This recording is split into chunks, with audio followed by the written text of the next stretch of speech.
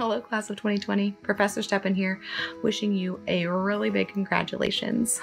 You've accomplished so much, and you should be proud.